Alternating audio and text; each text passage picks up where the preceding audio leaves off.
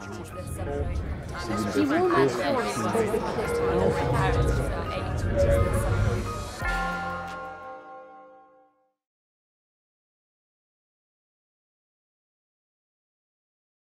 The other day, one of my BSc students uh, from another university comes up and says, uh, uh, how did you become a surgeon?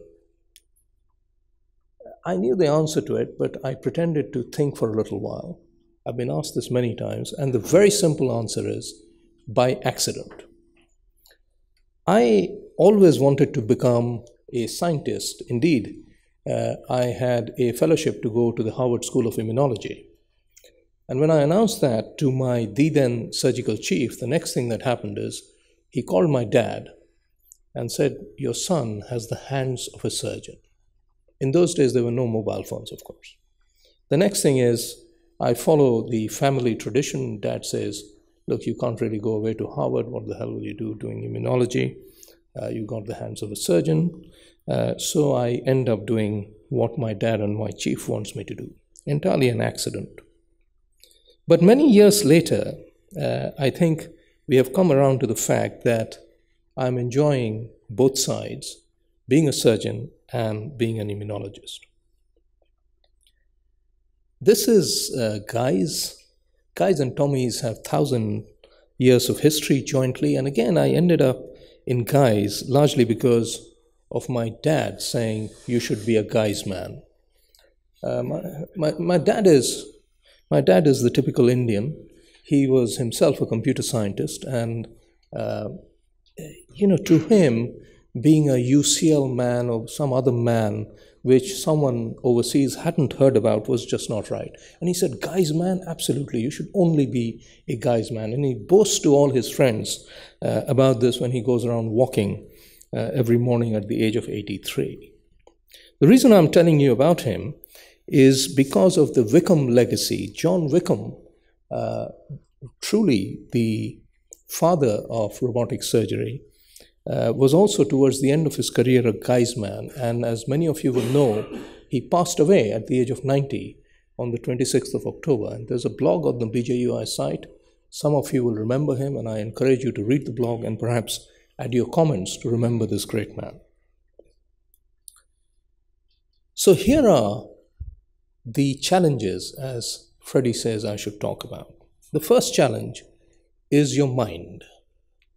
And Richard Bell and I were discussing it this morning. We both have the same Bible. I didn't know Richard had the same Bible, but this is a book by a Booker Prize winner, Haruki Murakami, and it says uh, what I talk about when I talk about running. This is an amazing man who starts off by describing his preparation for the New York Marathon, uh, which was also my first marathon in 2008. For, so, uh, no problems in getting inspiration from Haruki. And I say this to everyone embarking on any career, particularly if you have multiple balls in the air. Pain is inevitable, suffering is optional. So it depends on how much you're willing to suffer, because the pain will be there. You can't control it. The suffering you can, and it's up to you how much you suffer. If you remember this as a young surgeon, whichever stage of your career you are in, you'll be just fine even in your darkest or your happiest hours. So here is the first challenge that I face integrity. As Freddie said, I took over the BJUI from John Fitzpatrick, the late John Fitzpatrick, five years ago. John was alive at the time. Suddenly died of a brain hemorrhage while exercising in his home gym. There was an outpouring of grief after that.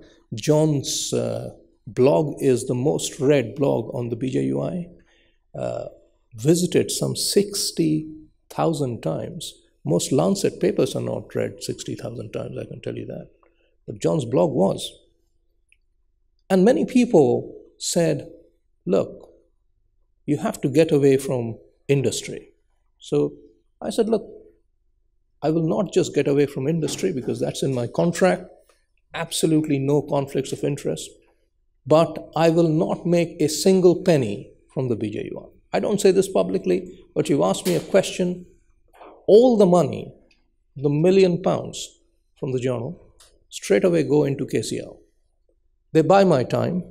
The contract is with the university, and I do the BJUI in my waking hours, despite having to do it every day. So I do not do this as an additional piece of work where I'm trying to create something in the evenings or in the nights because the quality is just not good enough. And then you have the additional conflict of money. So integrity is the first challenge I faced. And I think I have lived up to it because I absolutely can stand here, put my hands up, and say, I have no conflicts of interest. Zero. I can't say I have no bias, but I have no conflicts.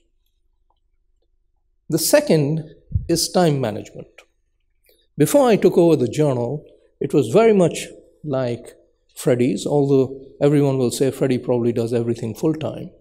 But I think most academics would have a 50 50 contract. When I took the BJUI, I went into one third, one third, and one third. One third is clinical, one third is academic, and the other third is the journal. Although you could argue I do most of them full time, but you can't. You have to dedicate your time to what you're doing. If you're writing a grant and have a problem where someone's knocking on your door and saying, Could you please come and help with this operation? Unless it's an emergency, you don't. That's your grant writing time. Likewise, when I'm in the BJUI office, I'm off site. I'm never on call, and no one disturbs me. You have to give it time, and that's how I have divided myself. And the third is inspiring others. Some say, well, this is just delegation. It actually isn't. And as I keep talking to you, I hope you will appreciate that truly what we have done is about inspiring others. I have very, very little interest in myself as long as I can help others do well, provide an environment for others to do well. I'm happy. I have no interest in what happens to me. So, the one underpinning theme, as I said, became a surgeon by accident. I always wanted to be a scientist.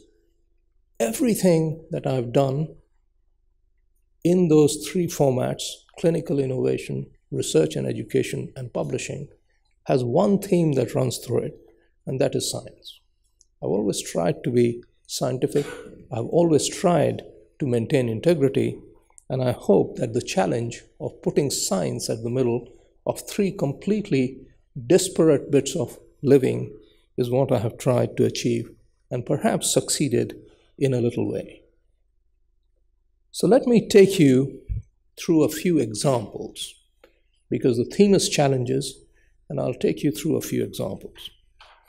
So this is now almost 25 years old. Easily my most significant contribution to science. This science, this is a little uh, bladder biopsy. This is taken in an awake patient. And what it shows you here are a whole load of nerves. When you look at this under electron microscope, there are a whole load of nerves here. What I haven't told you is this is from a patient with a neurogenic bladder who is incontinent all the time and who has failed every treatment.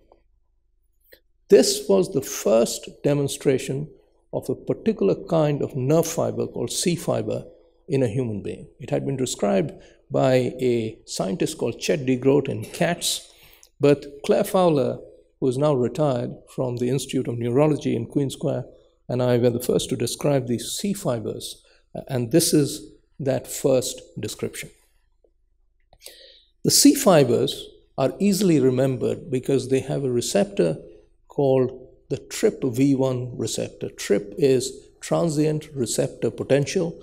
V stands for vanilloids. Vanilloids have nothing to do with vanilla. Vanilloids have everything to do with chilies. Chilies contain vanilloids, and therefore this receptor is called the TRPV1 or the vanilloid receptor. And we realize that these nerves are exquisitely sensitive uh, to capsaicin, or a solution of semi synthetic chilies. And it took us many years to realize that they're also exquisitely sensitive to botulinum toxin. Indeed, uh, this, I am told, has now transformed the lives of 5 million incontinent people worldwide because it's undergone a number of trials, phase 1 and phase 2, and it now has a license in refractory overactive bladder. It was, uh, strangely enough, named by, after me uh, by Claire and Arun Sahai, who is now a colleague at Guy's.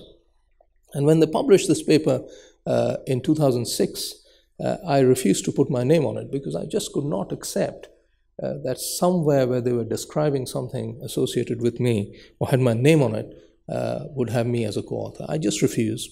And I'm glad I did because this has now entered various textbooks and I think will easily re- uh, remain my strongest contribution to translational science. But again, no conflicts at all. I didn't name something after myself, and we need to be absolutely clear about that. But then, around this time, a young man, and this is about the challenge of inspiring others, a young man called Ben Challacombe, who many of you will know, again now a colleague, uh, turns up at Guy's saying, I hear you have gone on from being a senior registrar to a senior academic. I said, Well, I'm only a junior academic, I just started. Said, I want to do some research in robotics with you. I said, Ben, I don't have any money, I only just started. So he comes up with this idea of a randomized trial between Guy's and Hopkins, the first such randomized trial, and we name it Star Trek. Star Trek stands for Systematic Transatlantic Randomized Telerobotic Access to the Kidney. nice name, inspired by Star Trek, of course. So, uh, very simple. Doesn't matter that this was a machine for removing kidney stones. Uh, it could be for making broad beans, as far as I'm concerned. It is the principle. These are 300 procedures, half robotic, half standard, manual insertion of a needle from the skin to the kidney, and then the needle is dilated, the needle track to take the stones out. The robot is first in London, controlled from United States, 5,000 miles away. In those days, we didn't have high-speed lines, I can assure you. Uh, now it's a completely different ballgame. And then we switch, and the machine goes to Hopkins, the surgeon is at Guy's. Rather than bore you with the statistics, it showed a very simple philosophy, which was the robot was slower but more accurate than the human hand. So even before we had any Da Vinci, uh, any company telling us that their product was excellent, we decided to embark on this randomized trial because uh, I was always interested in evaluation, not hype. And actually, uh, when we got our first 1.1 million, the grant uh, said very clearly this is for establishing a robotics group but also evaluating robotics. We're talking about 2002. You know? And it was based on the Star Trek trial because I didn't go to anyone and say, give me some money, uh, because that's what our American colleagues were doing. In fact, they were busily writing checks. Uh, we couldn't do that in the UK. So here is uh, my journey and the challenge of showing what clinical innovation can do and perhaps the challenge also of accepting when you might not quite have been right, thinking what you thought all the way. So, this is uh, comparing open or ORC, radical cystectomy, standard of care. We've been talking about cystectomies that have happened in Oxford two days ago with my uh, friend uh, and comrade Jim Catto coming to help you here, the other editor of uh, the other lovely European journal, European Urology. Jim and I love each other to bits. So, what about comparing open radical cystectomy versus laparoscopic or LRC versus robotic? This is a paper uh, which came out now five years ago. We were undoubtedly uh, one of the first groups in the world to do this operation with uh, robotic surgery. And we show here, as in the pink box, that the complications reduced from 65% to 37% and further to 27%. Freddie, this is looking pretty good, yeah? You could sell this to anybody, even in Oxford, couldn't you? Yeah. Perfect. Everyone bought into this. The NHS said they would pay an additional tariff. The patient said they were delighted. I mean, this was fantastic. We sold it to everyone. We even, with Khurshid Guru from uh, New York, established what was now called the International Robotic Cystectomy Consortium, nearly two and a half thousand patients worldwide who had this operation. So, this is a registry, and nearly 50 papers have come out of this registry internationally. So, this takes out the whole business of, oh, one center can do this. Dasgupta is a great surgeon. This takes out all that nonsense. This is international data as it is, it's a registry study. What I haven't told you is around this time I was invited uh, by the equivalent of the Queen here, uh, by a king in India, the Maharaja of Jodhpur, to become his visiting professor. So I was the visiting surgeon. This is 20, 2008, 2009. And while I'm in his palace, and I'll never be in a palace ever again, I think I'll better use my time to the best of my ability. So I cook up this trial comparing open laparoscopic robotic and call it the coral study. Cystectomy, open, robotic, and laparoscopic. Wonderful, isn't it? All done in a palace.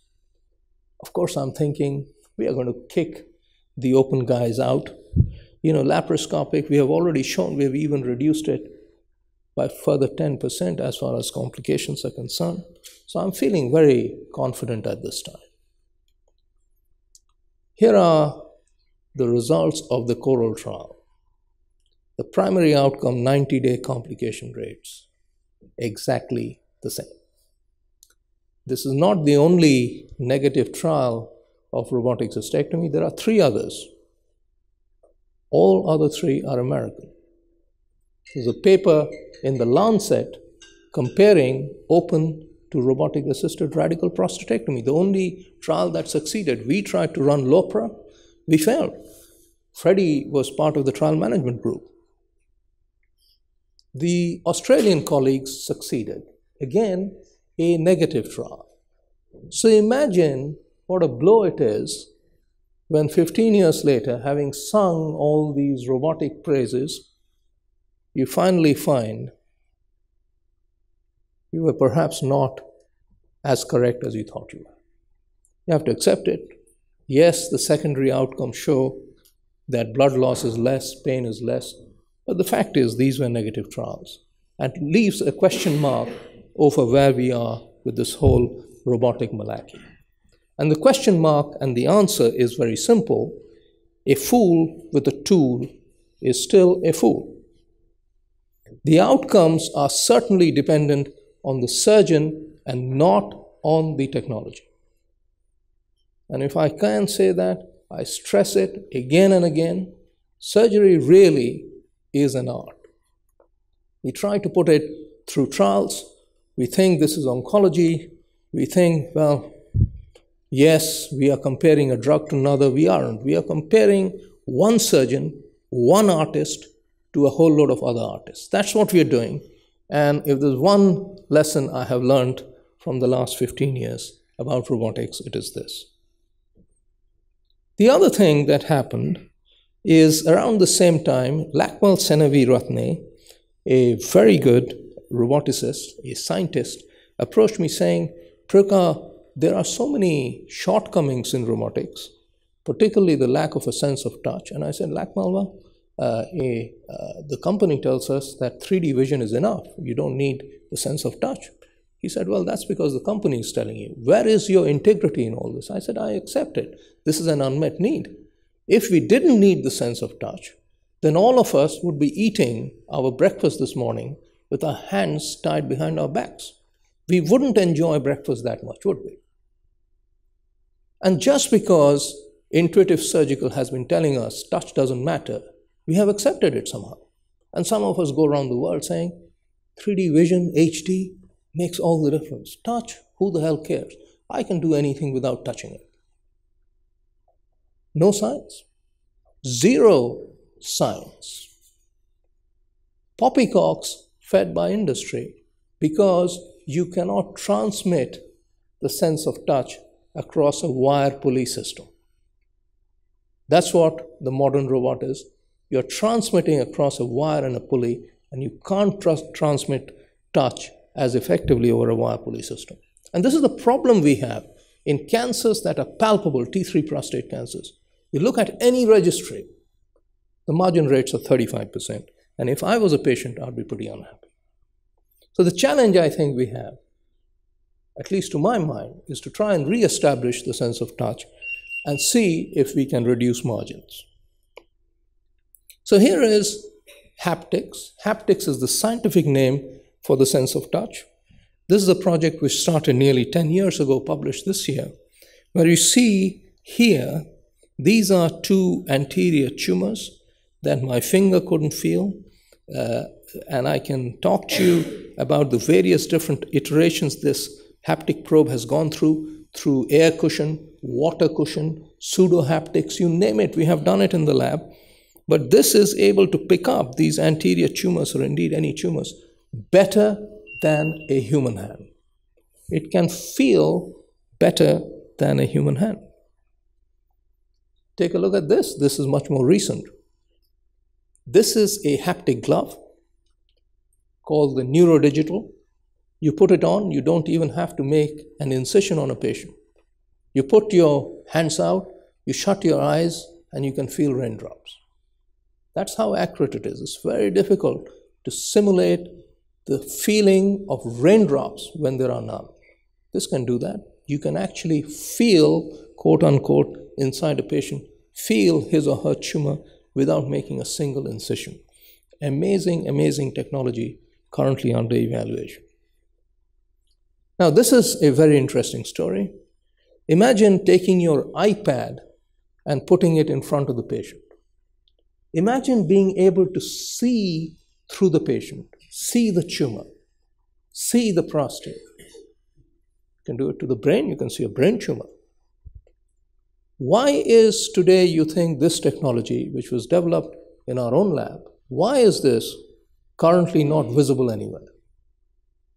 Is because industry have purchased this for many million. It's gone underground. This will appear in a new robot uh, somewhere near you in the next five years. You could say, How many million did I make out of it? The answer is zero. I lost two very good scientists to industry, but I personally made absolutely nothing out of it. So, a lot of good technology currently that is being developed within the university suddenly goes underground, and the next we hear about it, someone's bought it. And then we find out that these people have left us. This is the new kid on the block. This is of interest because it brings in the ideal framework from Oxford's Balliol College. On the left, you see the first ever 3D printed prostate. There's an anterior tumor here, which is literally uh, a millimeter or so from the sphincter. This patient, no one wanted to operate on him, thinking he's going to become incontinent. He was also worried about his erections because he had a 35 year old new wife. The nerve bundles are miles away from this tumor. This is T3 tumor. We've now done an ideal phase 2A study showing that the margins rate in T3 disease in prostatectomy has dropped from 35 to 10%. This is about to be uh, in a randomized trial. We very much hope Oxford will be part of it. 10 centers uh, will be requested to participate. Uh, 300 patients randomized 150 in each arm. The patient will be blinded. The surgeon will receive a box in the morning of the operation. You can't shake the box. This is the blinding because it will be muffed in a way where the only way you know what is inside the box is when you open it. And inside will either be a 3D printed prostate where you can actually feel the tumor, or a tennis ball. So you can either do standard of care or you can do a 3D print guided prostatectomy. So today what we have is purely a biased ideal phase 2A study. The randomized control trial will be kicking off sometime next year. It's just been approved by the NCRI. So, a few final thoughts about uh, robotics. One of the challenges we had is why have just wrists at the end of instruments, which is what the Da Vinci system has? What about the shoulder? What about the elbow? Why can't we have more flexibility? And this is where we got inspiration from an octopus. So we brought in experts from biology, from medicine, uh, from engineering to try and learn from the movements of an octopus. It has flexible tentacles. And this project, which was funded by the EU, uh, is called the STIFFLOP project.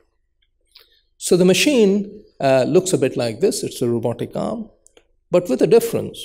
It has artificial intelligence and it learns from a surgeon's mistake. So it has surgical cognition. It actually avoids blood vessels because you've previously been there and made a mistake. So it avoids and learns from your mistakes. So here is a nice little story about inspiring others. The man who designed the flexibility of the arm brought in a technology called granular jamming. And he turns up, is in my lab, he turns up uh, one day from the lab and says, I need to come and show you uh, what we have done because lab is good, we need to use it in your sim lab. So I said, okay, come over to Guy's. Unfortunately, in London, uh, everything is off-site, space is at a premium. So our robotics lab is at the Strand campus, about five miles away. We've tried to move them to the Guy's site, there's just no space. So he comes along with this granular jamming arm, with the granular jamming concept, and he's very excited. We test it out, and indeed, it moves flexibly flexible shoulder, flexible wrist, flexible everything. So I said, look, it's very exciting. What granules have you got in this? And he says, well, sir, prof, coffee granules, of course. So I said, I need to show him something. So I took it, I put it inside the sterilizer, and I switched it on for five minutes. We were having cappuccino afterwards. There's an important lesson in this. If you are trying to do something translational with your scientists, we need to get together from day one. Otherwise, they will have a proof of principle which is clinically useless far down the road. We had to change these granules. Clearly, you can't put coffee granules inside any arm because they are just not going to stand the heat of a sterilizer. We've now changed it, and by the time the full prototype came out last year, this was a fully functioning robotic arm with a form of silicon granules which do not melt. But that's exactly what happened, and we are very proud of what we did. The other challenge we have been facing, particularly with the Telegraph uh, day before yesterday saying uh, surgical masks and surgical robots have absolutely cost the NHS 150 million and so on and so forth uh, out of Imperial. I, I hear rumors that uh, my friend Lord Darzi has is in the process of having a few words with the author of the BJS paper. I don't know what those words are. Maybe he's congratulating him. I have absolutely no idea. But anyway, the Telegraph two days ago said surgical masks abandon them, surgical robots. What a load of etc., uh, etc., et uh, uh, 150 million. So uh, you could argue, well, is cheaper always better? And this is something we have struggled with. We have tried to develop various economic models, and I've gone around the world saying robotics is not cost effective. It is how you make it cost effective. And the way you do that is compare this to MasterChef.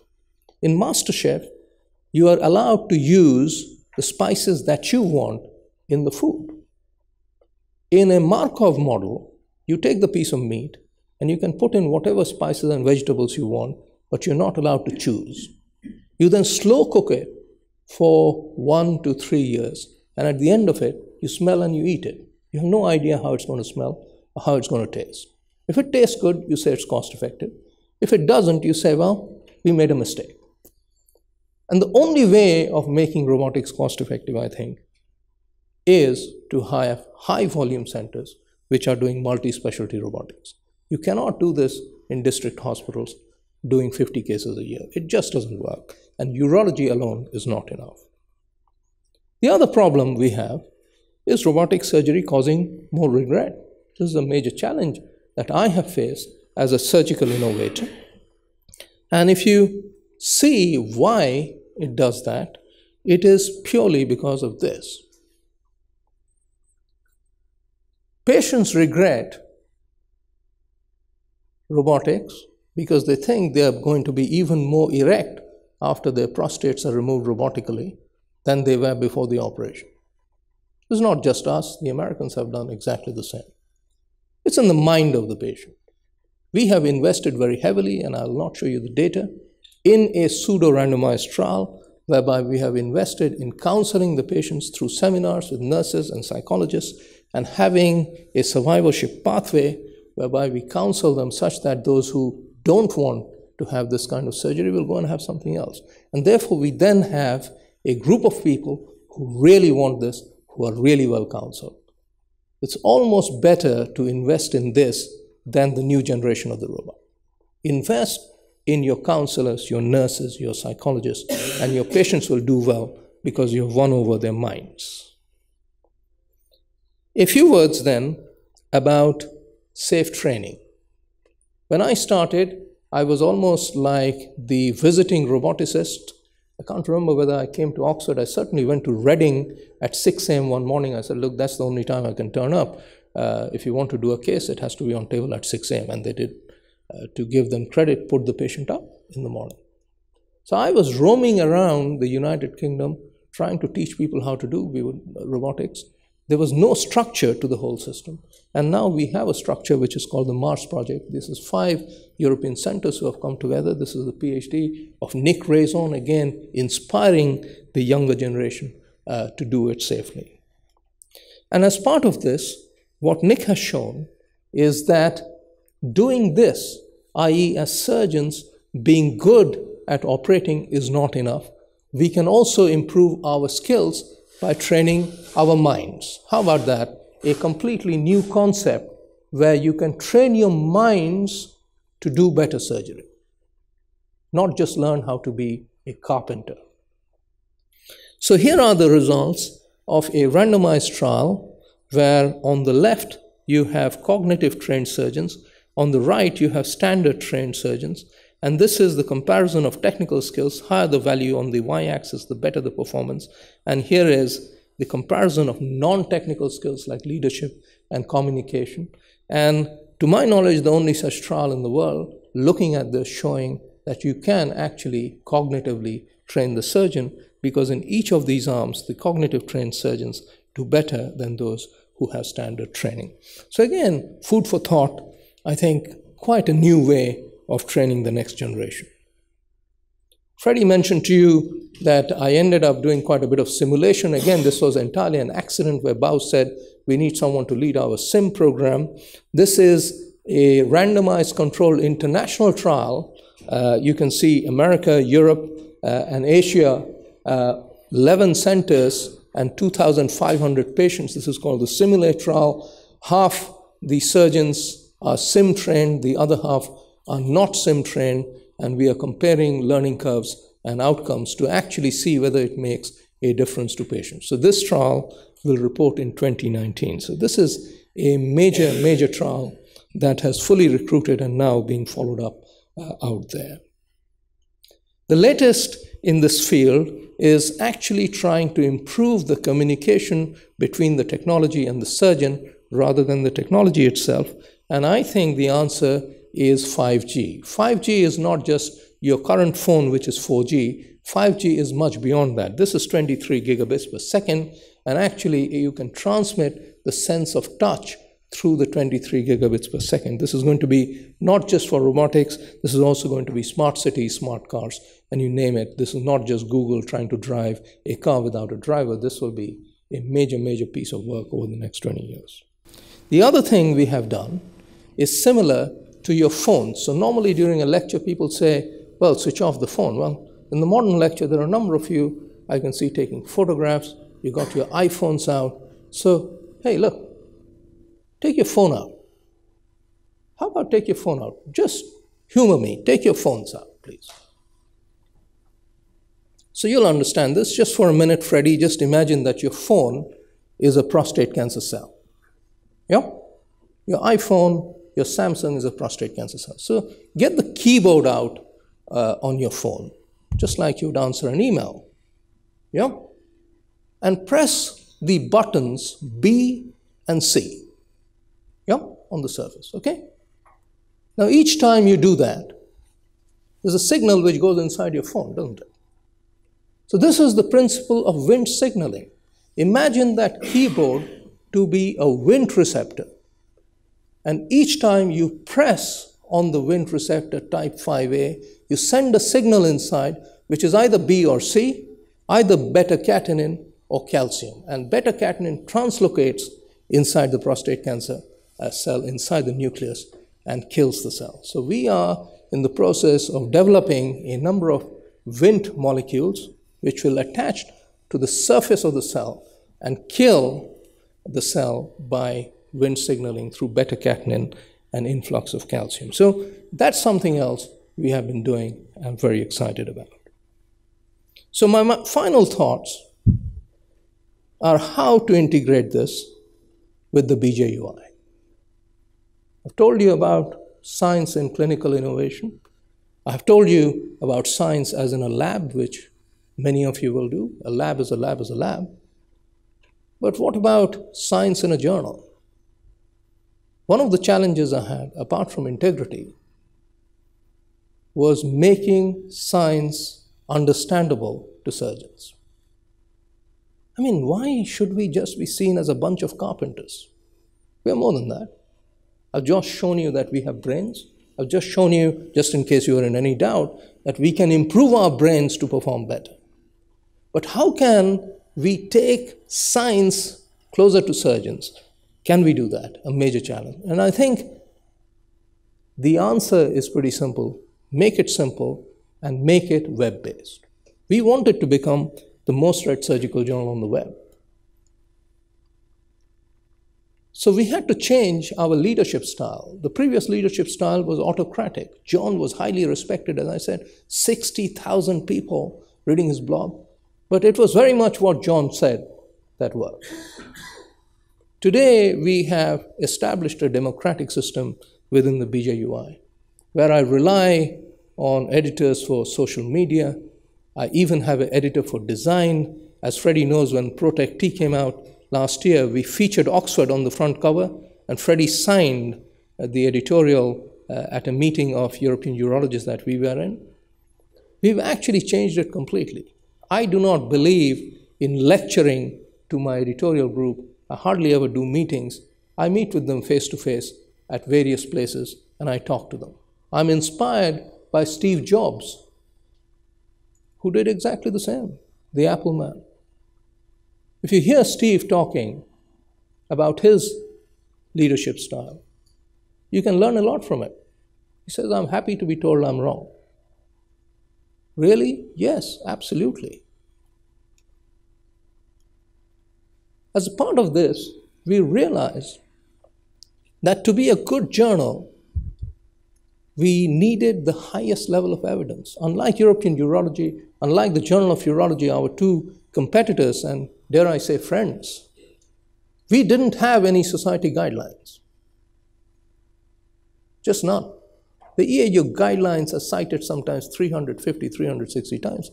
The Journal of Urology, the AUA guidelines, are cited 70, 80, 100 times. We had no guidelines. We couldn't compete. Now, after two years of negotiations, we have the NICE guidelines. We are featured. Next month, you will see the bladder cancer guidelines. Uh, this has been probably the creme de la creme for us, and it's taken me five years to get to this point. If you do not have the highest level of evidence today on the evidence triangle, which is guidelines, you can't compete. Guess what? JAMA featured the ASCO breast cancer screening guidelines already cited 500 times. But in order for surgeons to understand it, they had an infographic whereas a hand comes up and actually writes the guideline just like your teacher would write on a chalkboard. How effective is that? Are you saying you can't give two minutes of your time? You're so busy as surgeons. We have to make you understand the science because you're just too busy. Look, here is a lovely paper from Jack Schalken, a famous scientist in the Netherlands, talking about uh, ERG and TMPRSS2. This is our fusion genes, uh, very common in prostate cancer. But if you put this, a highly cited paper, in front of a surgeon, I guarantee majority of you won't understand it. You may pretend just to humor me that you really get it. Yeah, we are in Oxford. We really understand uh, fusion. But the fact is, most of us in our hearts know we don't get it. So I got David Bostwick to write a science made simple, and we do this for most of our science articles. I tell them, write as though you're writing to children. A simple diagram, write as though you're writing to a child who doesn't understand anything. So here is David's simple diagram where he shows where TMPRSS2 is, he shows where ERG is, and it's either a deletion or a translocation. Even a two year old can understand that diagram. That is how I think we are going to attract science to surgeons, not just blustering you with science talk and expecting that you understand us. In fact, guess what?